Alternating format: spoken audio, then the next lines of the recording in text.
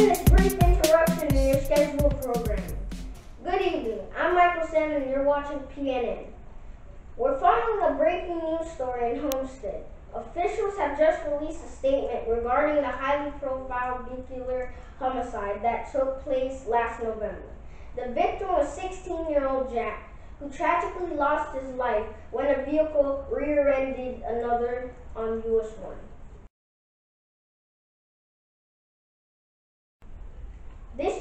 In.